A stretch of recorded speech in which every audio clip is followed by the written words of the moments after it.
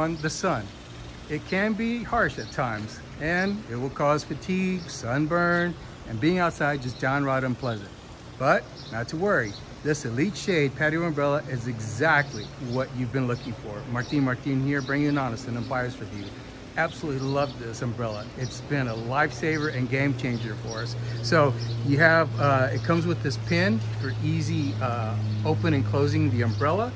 Uh, however, it does not come with a base. You'd have to get that separately. Also, uh, it doesn't tilt, and a lot of people probably wonder, well, what do you do if you're in the sun and it doesn't tilt? Well,